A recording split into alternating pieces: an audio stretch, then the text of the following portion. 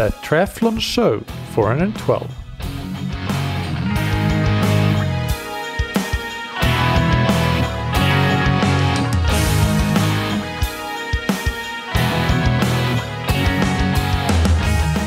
Hey, what's up, everybody, and welcome back to another episode of That Triathlon Show, the podcast presented by scientifictriathlon.com. I'm your host, Michael, and on today's episode, I interview Torben Rokkedal Lausch. Torben is the head coach and manager of the Triathlon Center in Aarhus, uh, which is one of three high performance triathlon centers in Denmark. He's also very close to finalizing his PhD in sports science, which we'll touch on towards the end of the episode. And he is uh, probably, or his most well known athletes that he coaches probably would be Kristian Høgenhaug and Mathias Lyngsø Petersen. Before we get into this interview, though, big thanks to our sponsors, Precision Fuel and Hydration. They help athletes perform at their best with electrolyte and fueling products and with free online tools, education, and a patented sweat test. As I mentioned before, Precision Fuel and Hydration have launched a new Flow gel that is now available for pre order. This is a gel designed so that you no longer have to squeeze 8 to 10 gels into a bottle for your races, but this Flow gel contains 300 grams of carbohydrates that you can put into one bottle or flask and it flows easily without adding water so it is the perfect gel for the bike leg of a half or full distance race. And you can get 15% off your first Precision Fuel and Hydration order using the code TTS23 on precisionfuelandhydration.com. And thank you to Zen8. The Zen8 indoor swim trainer allows you to improve your technique, power, and swim training consistency even when you're short on time. You can do a quality workout in just 15 minutes at home. Uh, so if you don't have time to get to the pool, no worries. It's also a great tool for training through injury that might keep you out of the pool, which is something that I'm unfortunately experiencing myself at the moment with bad road rash keeping me from the pool. But in these situations, the Zen8 helps to maintain as much fitness as possible, which is a very welcome relief. You can try the Zen8 risk-free for up to 30 days, so if you don't love it, just send it back, and you can get 20% off your first order on zen8swimtrainer.com forward slash TTS. Now, without any further ado, here's the interview with Torben Rokkedal Lausch. Welcome to that triathlon show, Torben. How are you doing? Good, thank you. Glad to be here and looking forward to, uh, to a nice talk. Yes, me too. Let's start with an introduction. Can you tell us a bit more about who you are? Yeah, so my name is Torben Rokkedal Lausch, and yeah, I'm 70, I'm 37 years. I live just outside of the sickest, biggest city in Aarhus, or the second biggest city in Denmark called Aarhus, with my lovely wife and our three girls. And yeah, professionally, I work as a full-time triathlon coach. So partly at Aarhus 900 Triathlon, which is one of the biggest triathlon clubs in Denmark, and partly as a personal coach of both age group and uh, elite athletes. And yeah, my primary role at Aarhus 900 Triathlon is being head of our regional elite center in, in Denmark. So Triathlon Denmark, which is the Danish National Federation, have appointed three elite centers in Denmark and and these centers are supported by the federation and and yeah i'm in charge and and leading the one in aarhus both in terms of doing all the planning and and also being the coach on deck at least for for most of the sessions I come from an from a quite uh, academic background with a bachelor and a master's degree in sports science from uh, Aarhus University, and then I'm currently undergoing a PhD uh, in in sports science at Aalborg University. Or actually, I am done with all all the courses and yeah, and has have published several articles, but have not yet handed in the the PhD thesis. So yeah, the studies I did from the PhD was primarily examining the role of nitrate in the form of beetroot juice on endurance performance, and then also a single study examining the effect of, of two different models of high intensity training on endurance performance as well. Yeah, so I think that's that's a short introduction. Yeah, it's good. And how did you end up in triathlon? Were you a triathlete yourself, or did you end up in triathlon from some some other sport, or or how did that come about? Actually, probably, yeah, a bit by coincidence. So I played a lot of soccer when I was younger myself and, and then also did quite a lot of running. But then when I went to uh, what we call højskole in, uh, in Denmark, that is like a year you can take out of normal education before you start on, on university, for example, I was introduced to triathlon and had, yeah, a mentor that was very inspiring and, and and this is where I actually, yeah, got my eyes open for triathlon and, and started doing some triathlon myself, but, but never to a point that was more than, than just like a decent age group athlete. yeah, but then started at university afterwards and, and got into triathlon in uh, in Aarhus Triathlon, which is yeah in the same city as I was doing the the education. So that's actually how I ended up in in triathlon and just started as a swim coach and and then progressed to being the the main coach of of the whole club setting that we have in Aarhus and and then now to actually just focusing mainly on the elite athletes and the elite athlete program that we have. And then we have other coaches actually doing the main like age group training. So yeah that's how I ended up and just to clarify for listeners as well, like when you do obviously under Triathlon Denmark, the elite coaching that's focused on short course, but then as you have the private coaching as well with both age groupers and professionals, that's I'm sure that you have quite a bit of long course focus, and I know a couple of professional athletes on the long course scene that you coach as well there. Yeah, and actually, you could say that the the, the Triathlon Denmark part is it is actually mainly driving the training environment that we have in Aarhus. And that consists of both short and longer distance athletes. So it's, you, could actually say that, that my part in the triathlon Denmark elite setting is, is just trying to, to make the environment, the training environment in Aarhus as good as possible. And we have both the, the short and the long course athlete because we don't have that many athletes. So it makes sense to just try and and uh, yeah, make the best environment and and make training as flexible so that we can fit in both the short course and the long course athletes into the the setting and, and they can contribute to each other's development. Yeah, maybe if we had like 20 very good short course athletes, we would have a more specific short course program. But I think the way we do it, and and we can talk a bit more about that later. Uh, I think it's possible to to have both in in the same setting. Yeah. So, who are are there some athletes that the listeners will be familiar with that that are training in that environment?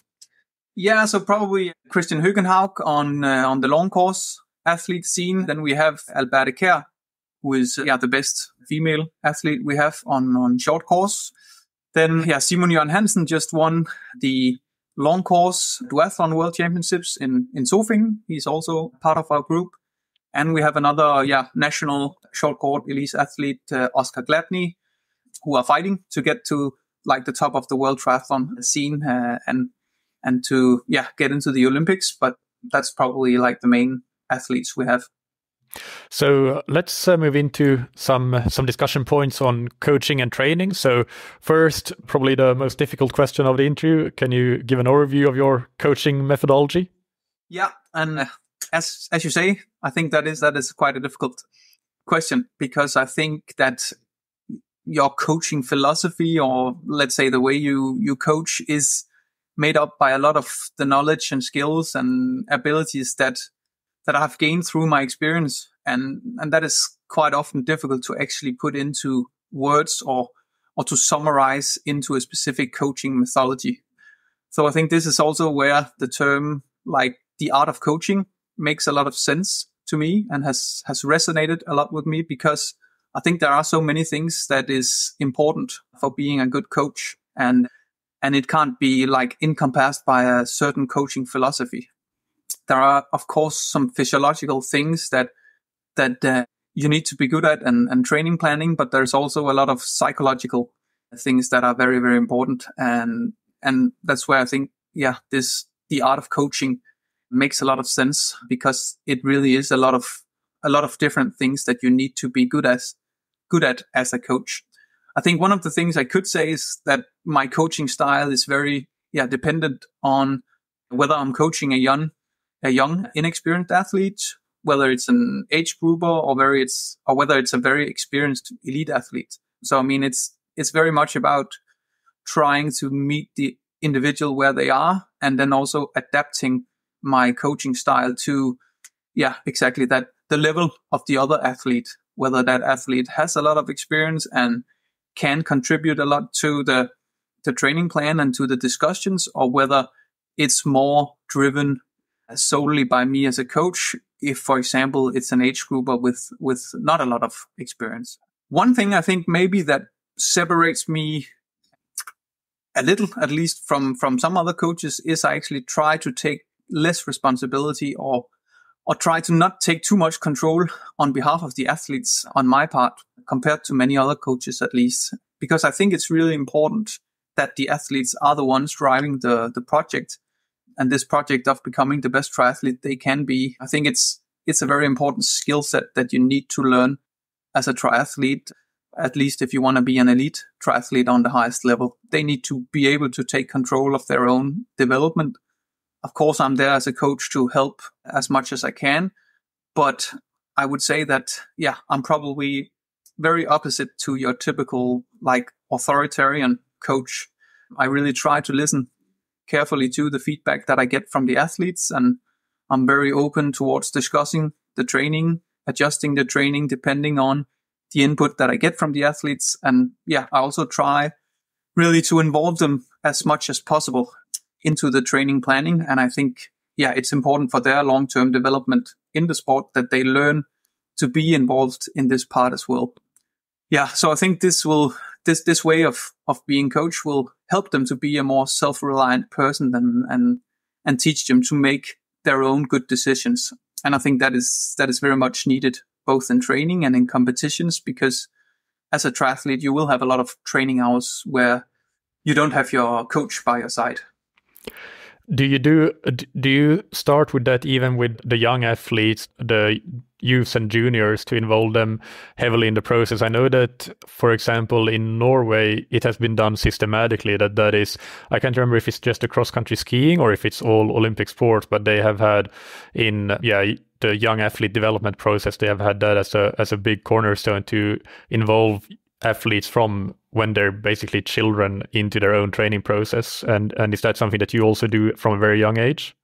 Yeah definitely. I mean of course the way you do it depends a lot on on uh, yeah whether it is a junior athlete or whether it is a senior elite athlete with a lot of experience. But you you have to start also when they're young. Uh, and of course it's it's on a on another level if they are junior athletes or, or even younger than that. But but even at that point i think it's just very important that you as a coach willing to to ask questions to the, the athletes ask them what they find motivational in training what they think is important and yeah have a have a collaboration in terms of how the training plan plan actually ends up looking like. Because of course i could sit down and do do a training plan that i think physiologically would be very good but there are so many other things you also need to take into account. And for triathlon, where you, you have to train quite a lot to become good, it's important that it also fits into the,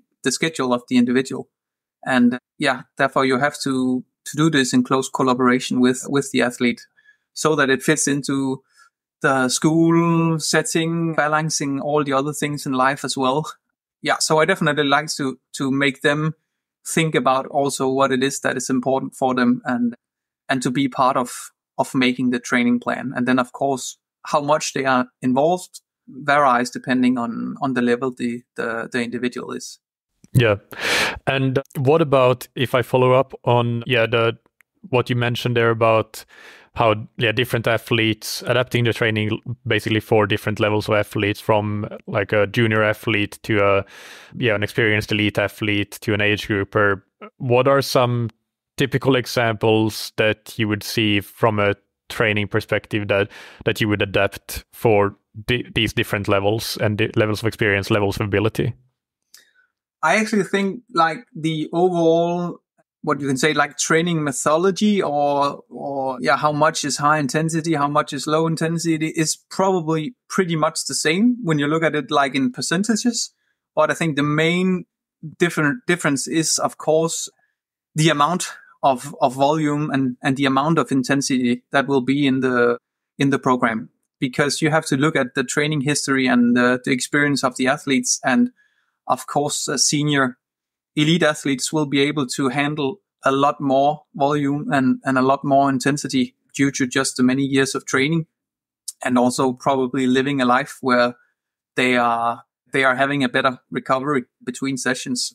So i think that's that's the main difference. Then of course there can be yeah some other things as well in terms of also maybe the focus on on the technical development. Usually if you are more inexperienced athlete or a younger athlete, I would also find it more important to have a higher focus on the technical aspects and make sure that these are, yeah, developed at a younger age. And, and so you could say that the, the focus on, on all the technical aspects will be a bit higher than the focus on the, the pure physiological side. Whereas when you reach a high level as a senior, then you, you should probably be at a very high level already in, in terms of all the technical things. So, so yeah, that would probably be, be one of the, one of the main differences. Yeah. And what would you say with the senior elite athletes, roughly how much volume would they do in a year in your, in your squad? Again, I would say that it's, it's very athlete dependent because it, it depends a lot of, of on the athlete, but the, the full-time athletes would be around 25 to 30 hours if they are a long course, and then maybe a bit lower, like 20, 25 hours if they are short course. Yeah, that would probably be like a, a rough estimate. But yeah, on the other hand, you could definitely also have short course course athletes that, that were closer to 30, 30 hours per week. So I think that's also more due to like the individual differences and, and the age of the the short course athletes that we have that are younger than the, than the long course senior athletes that we have. So we also have some long course as senior athletes that are less experienced and they will probably also be closer to like 20 to 25 hours when you like, yeah, compare them to the, the senior elite athletes that are already on the, on the highest level. But yeah, probably 20 to 25 hours for the short course and 25 to 30 for the, for the long course in, in the environment that we have right now. And what about intensity? How yeah, how much intensity is included in the program? Yeah, it it's always difficult to like give a precise estimate, but I think it's probably within those like 10 to 20% that you would probably also normally recommend. So the, the majority is definitely a low intensity training, but we usually have around two sessions of intensity with within each discipline. So that would roughly be what we're doing on a group level. And then again, we will, we will, we'll individualize that depending on the individual athlete. So some of the athletes will do less. Some of the athletes will do more and, and definitely also the volume of intensity in each session will depend on the individual athlete. So just to give an example, we could, we could do a run session maybe yeah, we actually often do run sessions where we do it by start time. So kind of like people are used to from, from swimming. So let's say we do a session on the run where we have a starting time of six minutes. This makes it flexible for the athletes to choose exactly the break they need and, and therefore also exactly the intensity that they need. So we could have athletes doing four minute repeats with a two minute break and and that would probably be like VO2 max training, very high intensity training. And we could have other athletes do, doing five minute reps with a one minute break and, and then hitting an intensity more around LT2. And then there would be, yeah, some athletes doing 40, 50 minutes in total of, of threshold work and, and others maybe doing 25, 30 minutes, again, depending on where the, the individual athlete is. And is that something that is that you have kind of discussed with each athlete before the session so they know already what they're going to do or are they kind of deciding on on on the spot when they're in that session?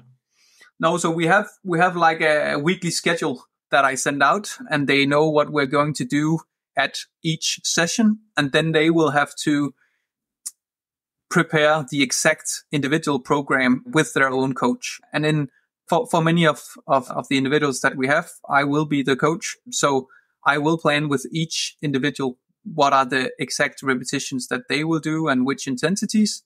And then, of course, we, we go to the session and we might change it during the session as well. But they will all have an individual plan going into the session. And then depending on, as always, how it goes, maybe it's, yeah, one repetition less because we, we think now now, now it's not good to do one more, but I will plan the exact volume of intensity for each individual athlete or their own coach will do that if I'm if I'm not the coach. And for you or for the athletes that you coach, do you have like what is the nature of the intensity generally speaking? Are, are you somebody that you you don't do so much work above threshold or do you have a mix and it depends on the the time of the year? Or does it depend on whether they are short course or long course athletes? What what are what is the nature of the intensity and why?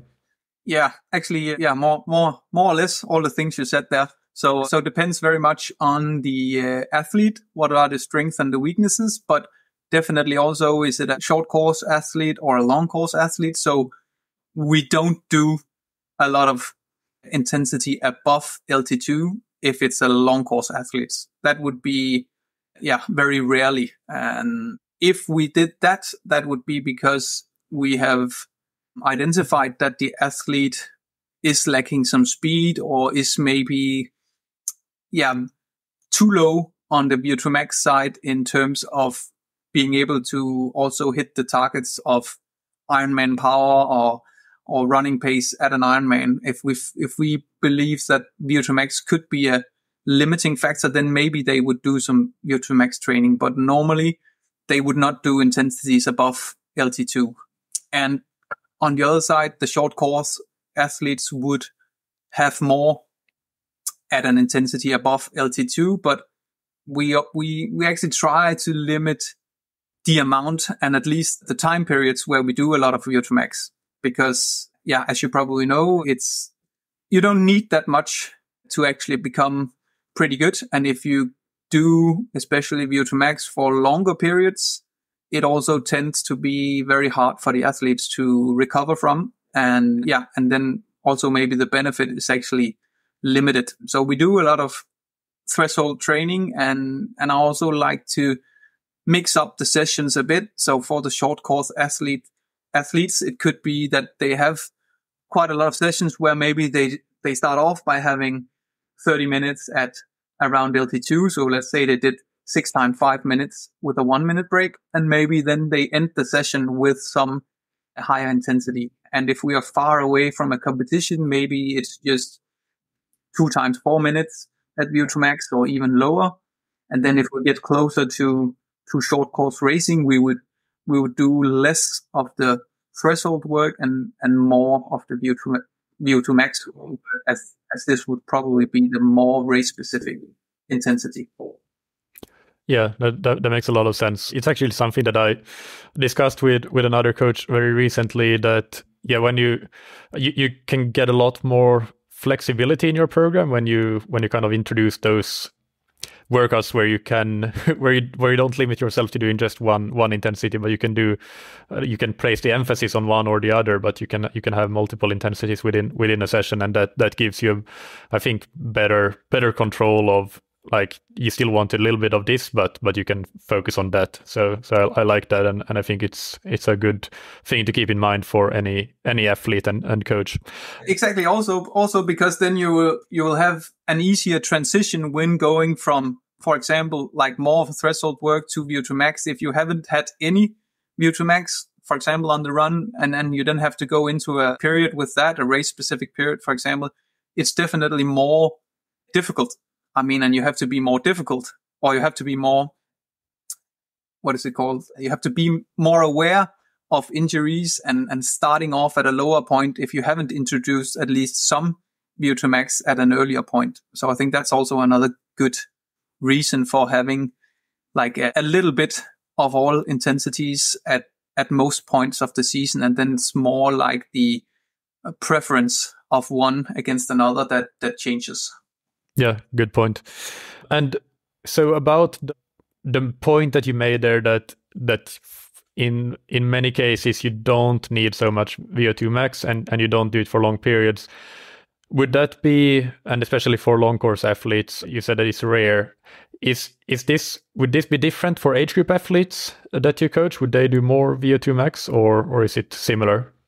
It's pretty much similar, but generally, I would also say that with the limited time avail- availability that age groupers usually have, there could be an advantage in increasing the amount of intensity work that they do, at least in percentages of their total training, simply due to the fact that that they don't have unlimited hours available for training. So, you know, the elite athletes have a lot of time to train and therefore we need to decrease the amount of intensity in the sessions. Otherwise you are not able to do all the training that I, that is required. But I think for amateur athletes on a general level, you can get away with doing a bit more intensity in percentages of your total training. So, so therefore, yeah, I would probably also have more VO2 VO2 max work during, during the whole season compared to if we're talking about an, an elite athlete. Yeah, yeah, and maybe also maybe they're also a bit well. The, elite athletes are often naturally gifted, and they, they with a high VO2 max just genetically, and and that that's different for age groupers as well. So it might be more of a limiter from that perspective as well. Yeah. Let's uh, go back to the the training group, the squad environment. Can you discuss what you think are the the advantages of of having that kind of environment, but also what are the potential risks or potential negatives and, and how do you mitigate those? Yeah. So for us, we have a philosophy where we want to become stronger together. So this basically means that we believe that we will get better athletes by having a strong training env- environment where everyone is contributing in a in a positive way. By having a positive positive attitude, by being willing to share with each other, helping each other, and of course also by the actual level that they bring to the to the squad in in the actual session, sessions. So I think the big advantages are that that they are like sharing the journey towards becoming the best athlete they can be, and uh, yeah, and and therefore it's like our common goal to develop each individual as much as possible. And for this, we believe that the training environment plays a very important role. So I think one of the, or some of the things that, that makes the environment important is that having like-minded athletes to do a lot of the training with and having close role models is important in terms of boosting the motivation, inspiration that comes with actually being in a strong training group. And it just makes it a little bit easier to do all the, the work that is required. And I also think it's just a faster path in terms of sharing knowledge and, and, and getting all these, yeah, sharing between the athletes that just make a younger athlete, for example, learn all of the, the things you need to learn a bit faster than if you're more on your own. The potential risks is probably, yeah, some of the things that, that uh, I have to be aware of as a coach in the group is to make sure that that the training is still tailored very much to the individual's needs. So in the group setting, we have to make sure that we have sessions where we can have a flexibility such that the individual can still hit the right training targets for, for them. So both in terms of the intensities and the volumes that the individual needs, we need to be able to make the sessions in a way and, and flexible so that this is possible. And as we just talked about, we have short course athletes, we have long course athletes, we have athletes on the, the highest international level, and we have others that are maybe just starting the path towards becoming a high level athlete. So we need to be able to, to have sessions where this is possible. And, and that could be, as we talked about before, having run session where we are, yeah, doing a session on a start time. So it's possible for, for the athletes to hit exactly what they need instead of giving like very specific sessions like four times one kilometer with specific break, because then it would be more difficult to fit in the needs of, of every person. And I think, and it is our experience that doing this on, on start times, for example, on the run is, is actually very easy then to get the benefit from having a group session but still also hitting exactly what the the individual needs.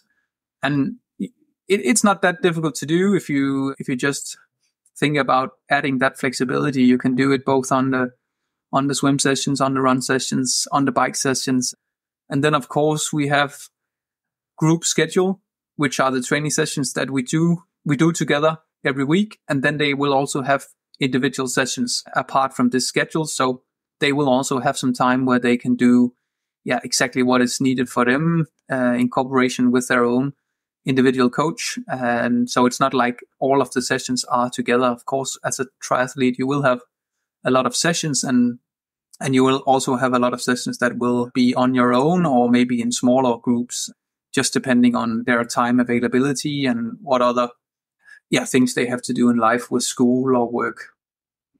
So when you say that they don't do all of the sessions with a group, does that also include that they they wouldn't come to like if you if you have two two harder swims bikes and runs in a week then maybe they would come to four of them but two of them they would do on their own and they kind of each person can choose that with you or with their individual coach? Or is it are you referring more to the the some of the or part of the the easy low intensity work is is done individually and they can adapt that kind of how they see fit yeah, so it depends a little bit on the, the discipline because we do almost all of the swims together. And this is also just due to, to the practicality of getting, yeah, a lane in the, in the pool and, and doing those sets together are probably, or is definitely the most common. On the run, we have primarily one common session each week. So that will be one session where all of the athletes will be doing some kind of intensity, at least unless they, they have some, yeah, some issues. Mm. And then they normally would have one session, one more intensity session that, that perhaps were more individually based according to the, to exactly what that person needs. And on the bike, it would probably be the same. So we, ha- we would have like one session together and then they would maybe have one intensity session also on their own. So so our group setting schedule is basically that we do all the swims together and then we have some specific uh, run and bike sessions that we also do together. But usually they would do, if they do two intensity sessions in each discipline, they would do at least one bike and, and, and also one run on their own during the week. And when you do the bike session with the group, how can you how do you adapt that to make it easy to do it like like you described with with a run and how doing it on a start time is is very suitable for that environment. What do you do on the bike to make it suitable for for that environment but also the individual? Yeah and then it would probably be more like going to a specific round that we have where we know that it's whatever five kilometers long and then we do and then they do the intervals that they need to do on the round. And and of course in on the bike, you have the advantage of being able to save a lot of watts if you're drafting. So you can also plan to get something out of each other by making those that are maybe less experienced on the bike doing some of the intervals, drafting behind some of the others. But otherwise, it would be more like the warm up together, doing the intervals on some specific course and then, yeah, doing the, the easy biking home together as well. But yeah, that depends. And, and for the short course athletes, there will be a lot of technical aspects as well of the bike handling and being in a group. So it would probably be even more important to, to make sure that, that this is something that, that you also train at times. Whereas you can say that for the long course athletes, it's, it's more about hitting the right intensities and, and doing the, like the more f- just pure physiological training, but still you would have like all the advantages in terms of motivation by being and being able to train in, in a group so that you don't have to do all the sessions by yourself. And uh, one thing that you mentioned in our email conversation as, as a, an interesting topic to discuss was the decision making pro- uh, process of i mean yeah, this could be things like within the training when do you decide that maybe you do an interval less or or an interval more i don't know or it could be more like on a week to week or day to day month to month basis of when to go a bit easier go push a bit more those sorts of things so so it's an open-ended question but can you discuss your yeah your decision making process yeah. So, so first of all, when I think about decision making, it is, it is the process that you have set in place as a coach to try to make the best decisions regarding the training plan. And especially those like weekly, daily adjustments to the training based on, on the information that you receive as a coach. And, and in that regard, it's important that you've actually, yeah, thought about what is the information that I collect and that I use to adjust the training. And those can be like just pure observations at a training session, conversations with the athletes, looking at data from the sessions, and and and also things like actually making the athletes measure HRV. So I think the important thing is that you to have an idea as a coach as to how you actually make these decisions and and what they're based on. And I think many probably do this without actually being aware of the processes involved, but I think it can be an advantage to try and, and put these things into, into a system. I think John Kiely has actually, I think you've maybe also had him on the podcast. Yes. He's uh, he's actually written some some very nice papers on this and, and calls it effective planning. That you as a coach have a system as to which and how you actually collect this information and base your decision making upon. So so yeah, I like to base the decision upon both some subjective and, and objective monitoring. So subjective monitoring could be the athletes noting their subjective feeling of training readiness or motivation to train or fatigue. Or it could also be you as a coach getting these through the daily interactions with the athletes, looking at body language and, and speaking to the athletes. And object monitoring, I like to do at least with some of the athletes, heart rate variability. And, and so looking at the, yeah, the, the development over time in, in heart rate variability and, and resting heart rate and seeing if things are are going the way we we expect. And and then again, you need to take all this information into account as a coach, and then you have to use your coaching opinion and and your experiences to try to make to try to make the best decisions from from this information.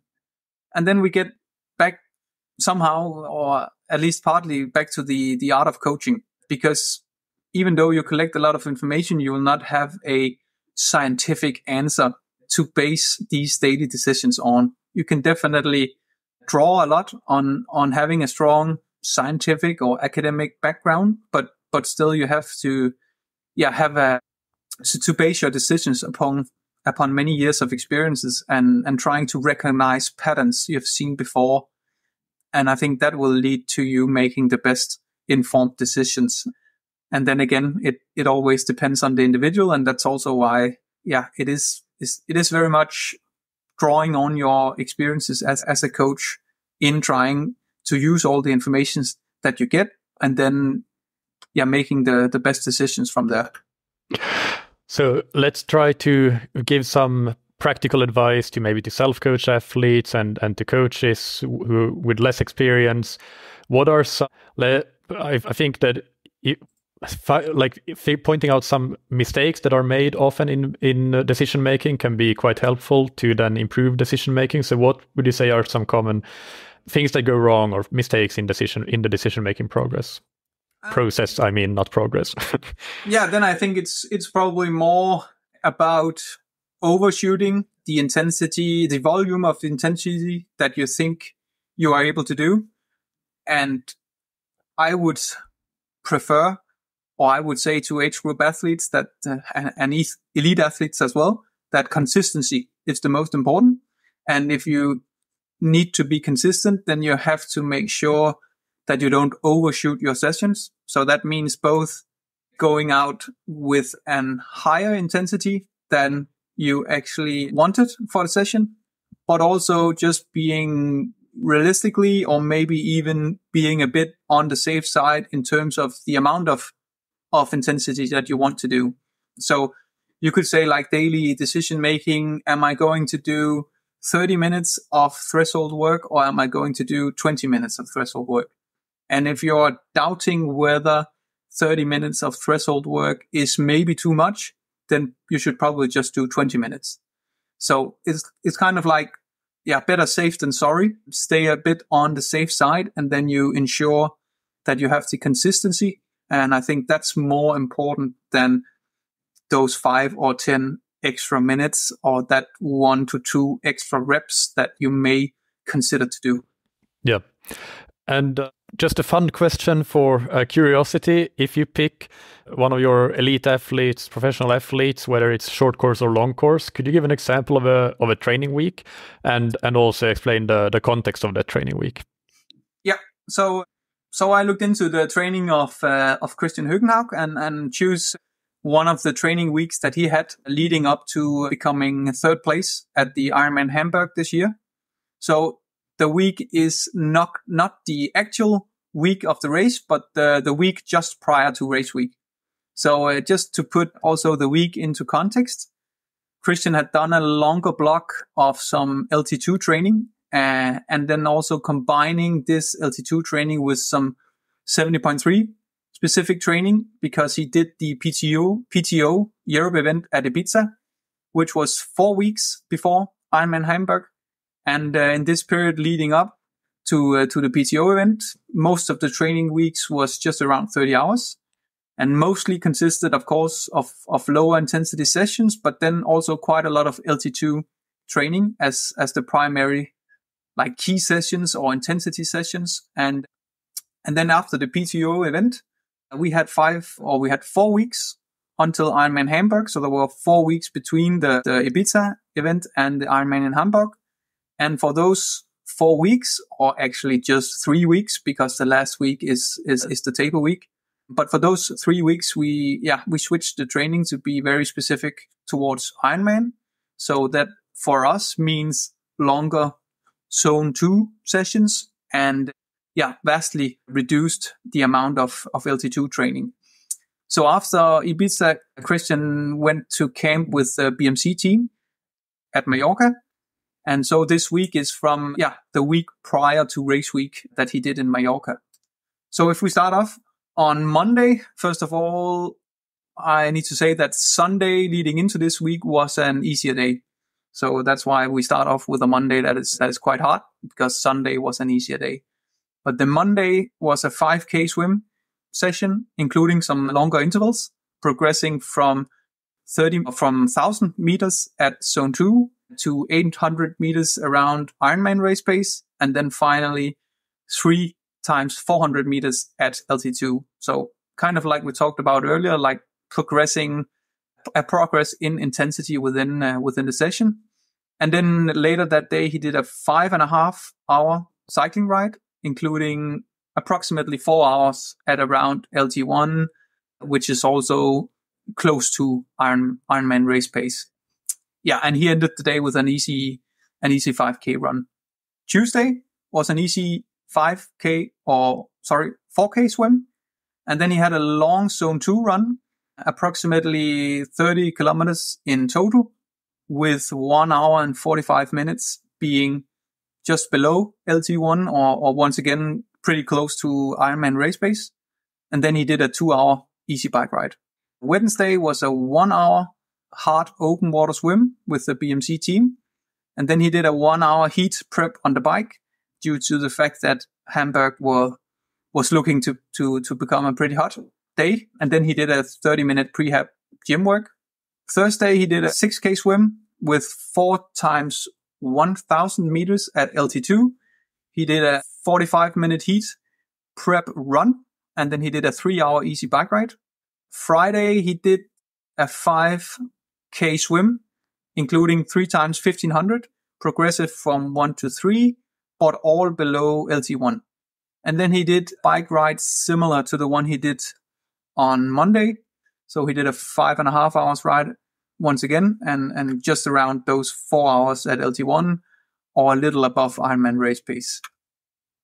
And Saturday was a two hour easy bike with 50 minutes at the lower end of zone two and then followed by an off bike Ironman specific, specific run where he did 31 kilometers, including 90 minutes at a little faster than Ironman race pace.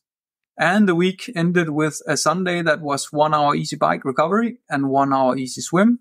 And that adds up to a total training hours of 32 and a half hours for that week. So very good. Quite, quite a heavy week going into race week, but all, he also had a very easy taper week. So, I mean, yeah, you can do a lot of different. What what is how many how many how many hours did he do in the taper week? excluding the race, of course, but the six days. Yeah, that's a good question. Uh, let me just have a look. But yeah, he, he didn't do a lot of hours. Uh, he he uh, he had a couple of sessions each day, but but they were of shorter volume and and also not a lot of intensity. Yeah, and he also had travel in the beginning of that week, so that also yeah automatically adds less training as you have to accommodate, accommodate for the for the travel as well. Yeah, yeah. I'm curious about the swim because there are a couple of really interesting sessions there. Four times one thousand at LT2 and three times fifteen hundred progressing to LT1. So what that shows me is that well, he's he's very good at pacing himself right correctly and and know, knowing his his his zones or his right his correct intensities to to train at. So, what what would the pace be for LT one and LT two to just to give some context for that? Yeah, so he would have an he would have an LT two just around one fifteen per one hundred meters, probably at a at a long long course pool, hmm. and then LT one would be just around 120, 121, 122 per 100 meter also in the long course. So that would be, yeah, close, close to those marking points. But, but yeah, definitely, as you say, he's only able to do all of this work because he's pretty good at hitting the right intensities and not overshooting the sessions. And then, of course, also because he's, he's been doing triathlon for, for a lot of years and has an extensive training history. So that's, of course, the, the context of this, of this training week. Yeah. Let's move into some age group specific questions. So, starting with uh, a general question about your top three pieces of advice for age groupers listening to this interview, what would you say to them? Yeah, first of all, the obvious is, of course, get a coach. If I didn't say that, that would be wrong. But yeah, I think a good coach can help you make good decisions. And if you are invested in training a lot of hours, then you might as well try to get the, the best out of all of these hours if you're planning the training on your own, I'd try a, a little like we talked about earlier. Think of a mantra like better safe than sorry uh, and prioritize consistency as the main target. So don't do too much in training, especially in terms of the volume of intensity. Um, that, that's what I also see can be a really, really a killer in terms of, yeah, doing too much in a week where you also have to work and maybe you have kids, a family, all these things. And also in the risk assessment in terms of not getting injured. So that's, that's definitely one thing, one thing I would be aware of. And then think about progression over a long time. So think about progression over months and years more than thinking about progression from week to week. So I think it's probably pretty common to say you can progress like 10% in the kilometers that you run per week. And I think this will often mean that you actually go too fast. Your progression is, is, is too steep. So I would think about progression over a longer time, months and years instead of just progression over weeks. That would be one thing. Then I would uh, focus on the basics. So be sure to have good habits around your recovery, sleep, nutrition, such that all those things that are needed to actually get some positive adaptations from the training you are doing is also prioritized and, and is also thought through. And if you have circumstances in life so that this is difficult to do, if you have children so that you don't have that much sleep, if you have a busy work schedule so that you don't have the time for recovery, then make sure to, to adjust the training load according to this, because then of course you're not able to do the same training as if your sleep or your recovery were a lot better. So be realistic. And then the last would be, yeah, find the right balance between training and then, and all the other things in life. As an amateur athlete, it's, it's important to remember that, that you need to have fun. Uh, and it also has to be done you know, the triathlon part has to be done without sacrificing too much on other arenas of life. So be sure to have your close ones in on the journey and have a good balance between being disciplined, doing the work required, but still also being able to enjoy life in general and, and make time to, to all the other things as well, whether it's having a beer with some friends or, or whatever adds value to your life besides the, the triathlon part. That's a great answer. It's one of my favorite answers to this question that I've that I've had. So so thank you for that. And when you coach age group athletes, when you start with a new age group athlete, let's say, are there any common patterns you see that these are things that that you tend to do fairly early on in terms of changes to their training or just like general strategy for triathlon improvement? Yeah, and, and the first thing that came to my mind is actually making sure that the training zones are set up correctly. Because I think there are a lot of amateur athletes that know about intensity zones, but um, where it maybe most often is a bit random exactly where the boundaries between the different zones are, are set. So that that's that's the first thing I would try to clear up. I mean, making sure that the athletes and uh, know which zone they are actually training in and they know and are able to stay within the right target zones when they train instead of just, yeah, training the hours needed. Actually also being aware of what is actually the target of the single training session and therefore also keeping in the right or staying in the right intensity zone. So I think setting up the correct training zones as a coach was pro- would probably be one of the yeah the main things and and, and first things I would uh, I would try to ensure.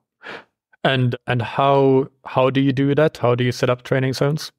Yeah, so it it would depend a little bit on what are the possibilities of the athlete, but normally I set up the zones after like the classic five zone. I don't know if we can call it the Norwegian model, Scandinavian model, but but of the five training zones with zone one and two being below LT1, zone three being between LT1 and LT2, and then zone four and five being the the high intensity zones above LT2. That would be like the most common for me. And yeah, depending on what the individual have possibilities to do, it could be by doing lactate testing, like a classic, classical submaximal lactate test, um, to, to find the boundaries between the, uh, yeah, the LT1 and the LT2. And, and if that's not possible, you know, you would have to try to estimate it as good as possible by doing some field testing. And then could be both be something like critical, critical power testing with some, some time duration tests, or it could also be like a standard 20 minute time trial and, and then calculating backwards in percentages of FTP. Yeah. And that, and, and then again, your coaching experience comes into play because those measures are not that precise. But if you do those testing and also look carefully into the training that is done afterwards, I think you can then increase or decrease once again the boundaries that you have set so that you hit the right targets.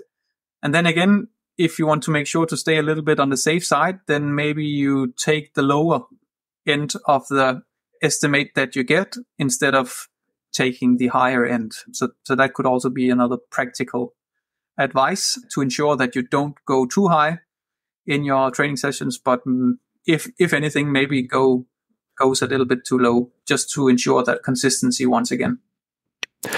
Yeah. And, and that, I guess, brings me to a point that I think I see actually because a lot of people email me about this uh, sometimes, especially people that use the ready-made plans that, that I have created, that they don't like uh, because I have set up a spreadsheet for creating zones in for use for those users that use the training plans, the ready-made ones, and and then they struggle because if they use training peaks, they they want to or they they try to use the automatic calculation. So let's say the Coggan power zones or something like that. And I think that what you're alluding to there, which which I 100% agree with, is that as a coach, you you kind of never go and, and set the zones based on the automatic zones. You kind of you look at the the field testing that maybe the athlete did, also the training that they're doing, and like historical de- training data, and you kind of always set it to the individual level and, and you and as you say being conservative is better than being a bit aggressive. And i think that that's a problem that a lot of athletes have that the automatic zone calculators that you have in training peaks and in other software they they always kind of estimate the the best case scenario almost in terms of the most aggressive ones and and then that leads to not not as good training. So so i think that's that's a really good point that you hit on there and just wanted to i guess raise that point that you can in training peaks and i guess in most other software as well you can just add your custom zone so you just write what is the bottom and the top of the zone there and and you do it based on well you can there are many different ways of doing it it's not that there's a right or wrong but but you don't have to be restrict yourself basically to automatic calculations that exist within a, a given platform.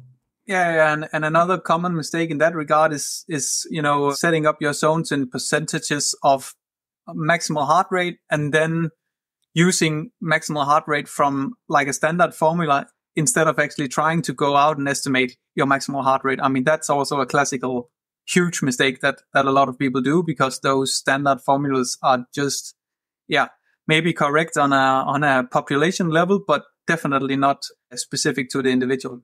So that yeah. would be another thing. I mean, it's very good to use heart rate, but be sure to to yeah know if your heart rate zones are actually correct and what is actually your maximal heart rate, because otherwise you will definitely also get some very incorrect zones. Yeah, yeah, for sure. And uh, yeah, so what are any uh, any other things that you can think of in those like early days, starting with an coaching an age group athlete that that you think are typical patterns that you see, that changes that you make other than the training zones? No, actually, then I think it's more about talking to the individual and making a good plan together. Once again, taking into account what are all the other things that are also in their lives. So most often, uh, probably you will actually have athletes that want to do maybe more than what is actually wise to do when you have all these other things in your life as well.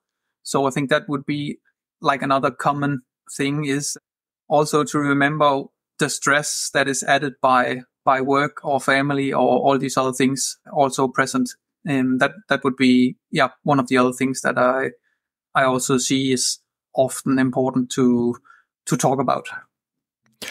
And what would you say are some important considerations for time crunched athletes? So, yeah, let's say people that have less than 10 hours a week to train, some some considerations to get the most out of your training. Yeah. Of course, always very much dependent on the individual and their strengths and, and weaknesses. But generally, I would say spend the most time on the bike due to the demands of, of yeah, middle to longer distance racing. And, and that's probably what most people are, are training for. That's at least my experience. And so it would probably be like 50% of the training time on the bike and, and maybe 25% of the run and 20, 25% on the swim approximately. Then I would not do too many just easy sessions. I would have some key sessions with some LT2 or some VO2 max during the week, depending on the context. But I would always also target some sessions at zone two, just below LT1. Um, so once again, if we have an athlete that does not have that much time to train, we also have to try and get the, the most benefit out of each, each training session. And of course, you can't do high intensity training sessions all the time. That's not beneficial, but actually making sure which intensity the low intensity training is done with is, is actually also key. So we have a very broad, a low intensity training zone. If you think about it below LT1 and whether you're in the bottom part of that zone or whether you're quite close to LT1, which would be, which would be in my mind, the zone two training can actually also give you, yeah, some, some, some better adaptations from the training if you are a bit closer to LT1. And then of course you always have to balance also what are the stress of those sessions compared to just riding at a very low intensity. But I would say generally, if you don't have that much time, I would do more training closer to the, to the boundary, to the moderate intensity zone, which would be the LT1 than I, than I would prescribe just easy sessions. Yep.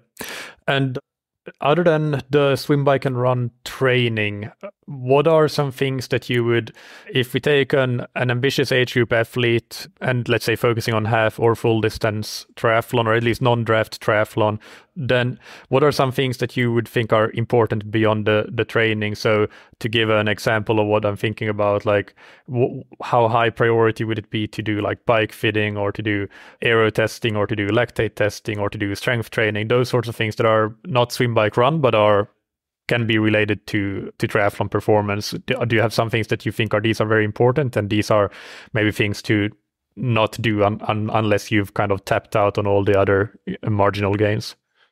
Yeah, I mean, I would. I'm I'm very much into yeah, just doing the basics right. So I would I would just focus or try to have a high focus on the nutrition, sleep, recovery. If we're not talking the the training part, I think that's that's very very important as well. Um, and yeah, then of course, for example, a bike fit can, can make a big difference. That would be one of the things, especially if you're a long course athlete that you should look into. But apart from that, I would probably say that it's maybe nutrition during the sessions. So actually being aware of why you're fueling and how you're fueling for each session.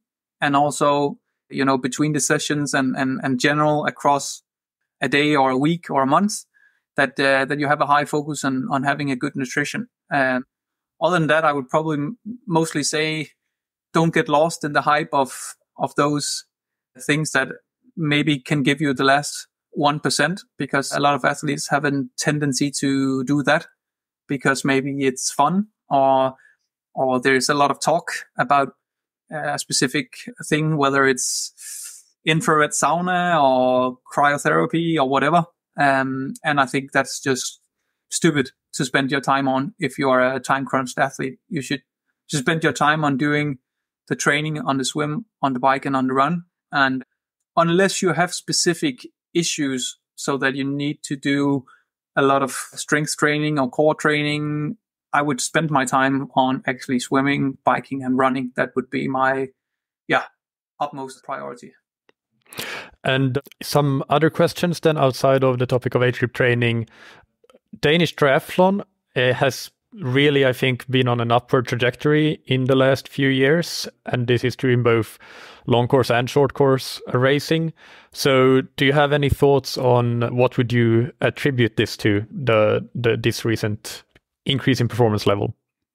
Yeah, I think it's actually a very difficult question because there are probably several reasons and, and it could also be just by coincidence. But I think first, maybe we have to acknowledge that we are probably mostly successful on the long course triathlon scene. I mean, we have Alberte and also uh, partly Emil Holm doing very well on the, on the short course. But compared to the number of very, very high caliber athletes we have on long course, and it is probably mostly on the long course scene that we we have we have been very successful. And part of this is maybe also due to yeah some culture and tradition of having some very strong long course athletes like Peter Sandvang, Torbjørn Sindballe, Rasmus Henning, Helle Frederiksen, with the last two also being quite successful on on short course, but but also on long course as well. And then another thing is Danish Triathlon Federation had a point of time where they pushed some short distance athletes up to do long course triathlon because they believed that they could not be successful on the short course. So if they were deemed that they could not be successful on the short course, then they would be pushed up to do long course at a, at, at, at a younger age than maybe was the standard at that point.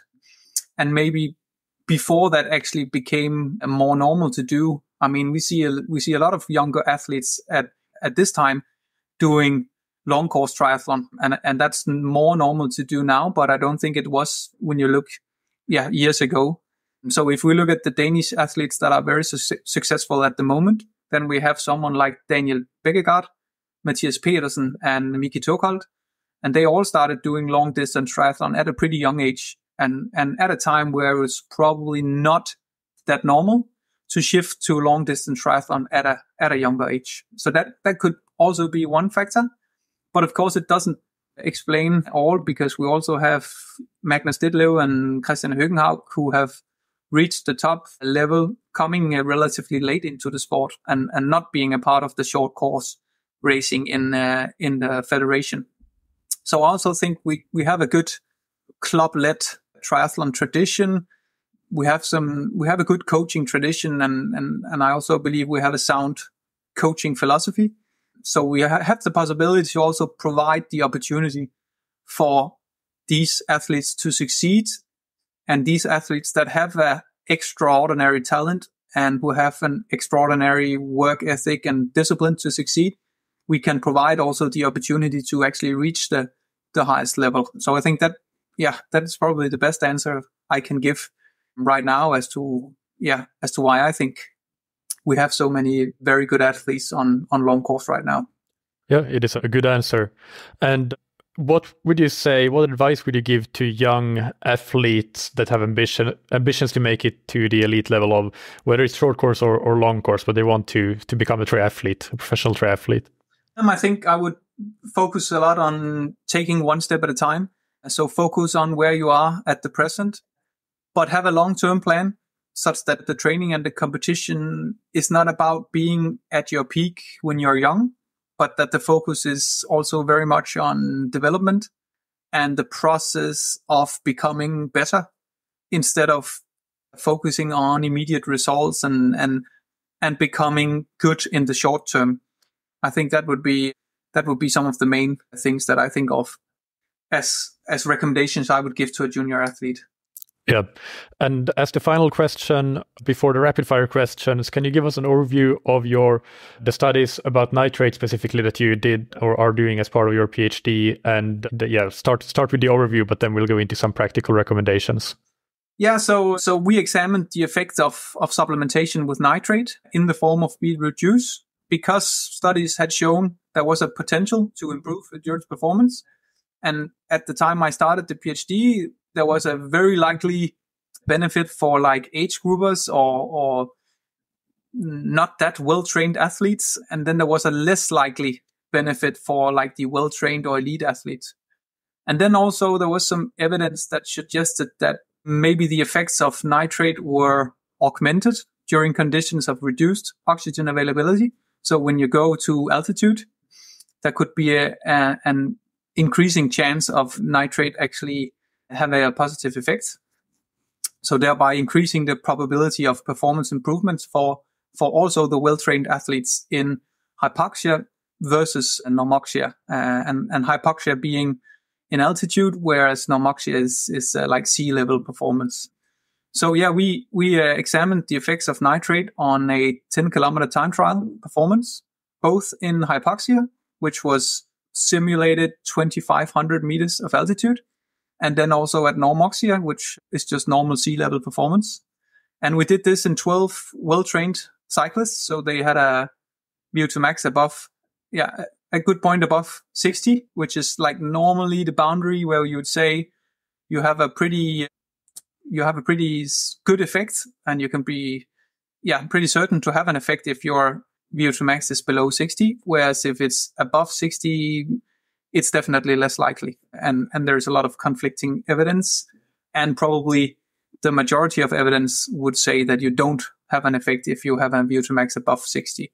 But what we found in, in these athletes were that the endurance performance was improved by 1.6% and that there was no effect of whether they did the time trial in hypoxia or whether they did it in normoxia. If you look like closer into the data, maybe the results were slightly driven by a bigger or a, larger effect in hypoxia than in normoxia. But with 12 athletes, that's, that was nothing that we could detect like statistically. And we are looking into quite small changes. So it is difficult to, to detect these changes with smaller groups of athletes. And, and it's very, very hard to do these intervention studies with the number of athletes that are actually needed to have like yeah, very certain results. And, and that's also why you always have to look at, yeah, the majority of studies done when you, when you give recommendations. And I would say like for current practice, if you have a VO2 max below 60, I would definitely consider to use it. I mean, there seems to be uh, no side effects. They they are definitely pretty rare. at least apart from the fact that your urine will be red. so, so if you take that, that one out of the equation, there, there tends to be no, no side effects from taking beetroot juice. And then I would probably always do some individual testing, just some, in, just some field testing to see whether you have a, you have a benefit. And then you could say that if you are competing in altitude, at least in parts of the competition, we just had a, a world, a world champs in Nice where they actually did part of the bike ride in altitude. But if you have, yeah, some parts of the composition in altitude, maybe there would be a, a greater effect of taking beetroot juice. But if you have a VO2 max above 60, I would be way more, yeah, restricting in, in terms of having it as a, as a normal practice. Then, then again, I would, I would maybe recommend to do testing on your own, on, on, on your individual basis. But I think there is, there is not evidence to say that well-trained athletes do get a benefit from, from beetroot juice. If you are at a VO2 max below 60, so you do, you can be relatively confident in the effect. What is the dosing protocol used? Is it loading over multiple days, like five days? I think I've seen, or is it, or is it enough to to do it the day of? What is the current best? Seems, it seems that there is not a lot of difference between doing acute loading protocol, so just taking it two two and a half hours before competition, versus loading for several days. Maybe there is a slightly improved yeah, performance by doing the loading protocol, but that's maybe also mostly if you then have a VO2 max close to 60 or above 60. So I would say if you if you have below 60, then then you have a, a lot of evidence that shows that acute supplementation is is definitely good enough. But what you have to be aware of is that you need you need quite a lot. So if you just uh, buy beetroots and make the juice yourself, you have to drink a lot of juice. So it's good to use like Beet It or other products where the concentration of nitrate is, yeah, concentrated. So you get a, a much higher amount of nitrate per milliliter of beetroot juice. So I would, I would make sure to, to, to do that. And it's, it's somewhere around, I think it's 400 to 500 milligrams of, of nitrate that you should aim for. And, and then you you need to do that twice a day. If you do chronic loading protocol, so over several days, and if you do like just an acute supplementation, then you should aim for maybe around 800 milligrams. So that would normally be, for example, two bottles of, of It, of the bottles that they have with, with the concentration they have it in. And it's is it two to three hours before the performance before you want to see the effect? Yeah, yeah, exactly. Normally you would say like two, two and a half hours before. All right. Great. So let's move into the rapid fire questions, starting with what's your favorite book or resource related to endurance sports? Yeah, so actually the most one is is a, is a book called Perform Under Pressure by a Danish sports psychologist, and that's a very good book about getting to know your values and and acting according to these and and why that is important to perform under pressure. But I don't think it is in English. So I probably have to recommend Peak Performance by Brad Stulberg and Steve Magness. I think they do a really good job of of only highlighting the stuff that is actually important and and, and cutting out most of uh, most of the bullshit. Yeah, no, that, that's a good that's a good good suggestion. Brad Stulberg was actually on in the very early days of the podcast to to talk about that, and I think he has a new book out now as well, which which is on my wish list.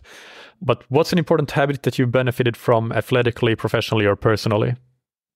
Yeah, I'm not quite sure if you can call it a habit, but I, I, I really try to think about what what makes sense for me here, and I think what I actually came up with is is I'm pretty good at uh, being present in the moment. So not worrying too much about the future or or or, or the past, but being in the moment and appreciating appreciating what you have right now the life that I'm living. And I think many people are working to reach a certain goal and they, and they think that that will make their life better and make them happy.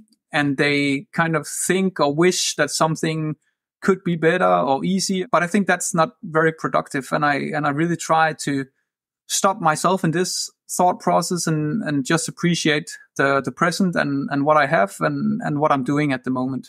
Yeah. So that would probably be I would call that that a habit. Yeah, that's great. And uh, finally, who's somebody that you look up to or that has inspired you? That would be my high school teacher, Anders Mortensen, that got me into triathlon. And yeah, just a fantastic, inspiring teacher and, and passionate person that I feel have taught me, yeah, so much and who definitely also set me up for this, this road in, in triathlon and, and this journey I've taken. Brilliant. And where can people follow you? Yeah, so probably mostly on Instagram. I have an account called Coach Rokke. So it's Coach and then R O K K E, which is the first part of my last name. That would probably be the the best the best uh, place to look me up. All right. Thank you so much. Torben, it's been great to have you on. A really, really good chat and hope to do it again another time. Thank you. I hope that you enjoyed that interview. I didn't mention it before we started the interview, but I'm actually recording all of this on my phone. So I'm curious if you noticed a difference with compared to uh, recording with the microphone. If you want some tips for a microphone that I don't recommend to buy if you're starting a podcast, then definitely email me and I can give you some tips because the one that I have is just unreliable and I'm actually getting a less fancy, less expensive microphone now to replace the one that I've been using for years because I'm bit tired of these issues that I have from time to time with it. So, yeah, this entire episode I've recorded talking straight into my phone, and hopefully it sounds all right. But, yeah, as I was going to mention, you can find the show notes on scientifictriathlon.com with links mentioned and, re- and, relevant links that I've found later. And uh, next Monday, I interview Parker Spencer, who is head coach of the USAT Project Podium and also the USAT Olympic Coach of the Year in 2022. And I want to give a quick reminder about our, our Mallorca training camp in April 2024.